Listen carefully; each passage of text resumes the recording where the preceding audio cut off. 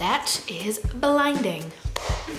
So you've started your YouTube channel, you have your banner, your picture, you're uploading videos, you're making your thumbnails, picking your copyright-free music, and yet you are not growing as quickly as you want. One question to consider, how are you tagging your videos? Do you know what tags are trending currently? Do you know what people are searching for? Do you know popular videos of the same kind of content that you're making and putting out on the internet?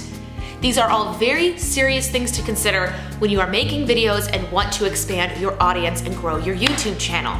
For me personally, this is the number one question I have gotten since I've gone from zero to 500 subscribers. I know that's not a big number, but again, I just have a beauty lifestyle and budgeting channel, so my content is very saturated within the YouTube community and I don't always link it to all of my social medias.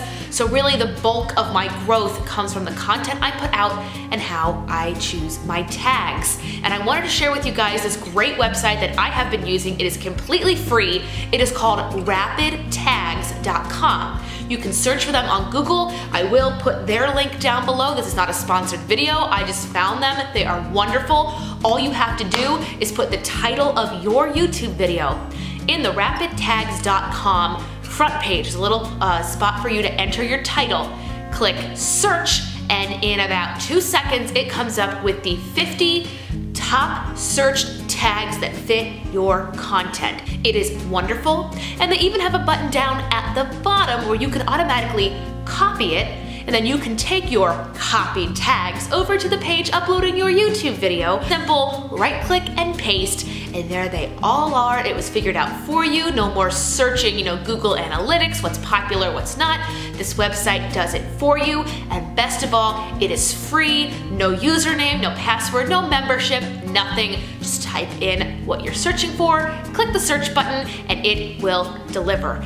I started using Rapid Tags right around New Year, so January of 2017. It is now the week after Valentine's Day, and I have gone from about 350 to 515 subscribers. My views have gone up, my comments, my shares, my thumbs up and thumbs down have both gone up. But, but again, that's just interaction on the video, so I don't care if it's thumbs up or thumbs down, it's an interaction, and that is people watching the video and reacting. And if that is what you are missing on your channel and you have not yet looking and you have not yet looked into tagging your videos, I highly, highly recommend looking them up. Once again, this is not a sponsored video. It is just something that I found I thought I would share with you guys out here in the YouTube community, trying to help out all the YouTubers who are continuously trying to grow their channel and spread their knowledge into the YouTube world. If you like this video, make sure to give it a thumbs up. If you yourself have any questions about how I've grown my channel or seen other people grow theirs, make sure to leave it in the description box. And if you are new here,